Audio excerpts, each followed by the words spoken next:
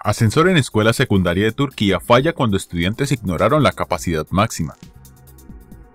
Siete adolescentes fueron trasladados a un hospital en Sarkaya, Turquía, después de que el ascensor de su escuela secundaria cayó tres pisos.